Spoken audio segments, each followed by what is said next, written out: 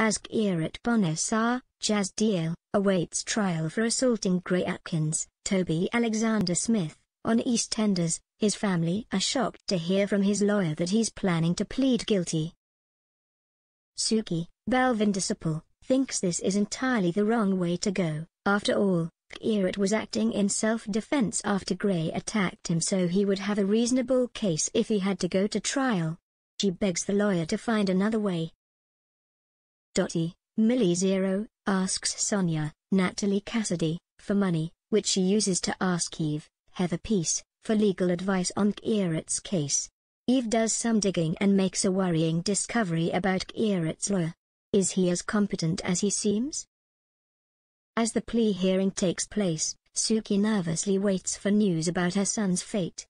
With the tension mounting, she's at breaking point and takes all her stress out on Eve as she angrily lashes out at her.